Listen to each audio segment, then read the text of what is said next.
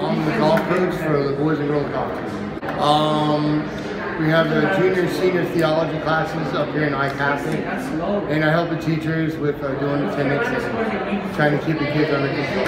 All right. Um, you enjoy working with the kids and coaching golf? Oh, I most definitely do. Yeah, mainly, uh, mainly some of my players that played for me in the past or they're playing for me currently. Uh, you know, over, the- over the years and being with them all, you know, you tend to start to build a, uh, a really good and close bond with them, and some of them actually become really good friends of mine. So, really, really pleased about that. Um, not necessarily coaching, um, but being involved with golf. And I wanted, when I was in high school, I wanted to be a golf pro. And I accomplished that, but just didn't accomplish the part like getting on the PGA Tour. But now, since I've been coaching, I really enjoy giving back uh, to the young golfers and anything I can do to help them out along the way, do.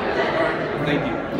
Thank you. All right. Um, since I was uh, a little boy, I always, you know, always enjoyed golf. I always wanted to be a golf pro. And um, after I wound up getting a college scholarship and uh, went to Scott, went to school. Um, after that, then I turned pro and been playing ever since. And just got into coaching in the meantime. Uh, I give lessons at the golf course. Right. Don't have much free time really. Um, I I'm at school from 7:30 to 2:30, and then I go to the golf course from about 3:30 till about dark. good. Giving lessons.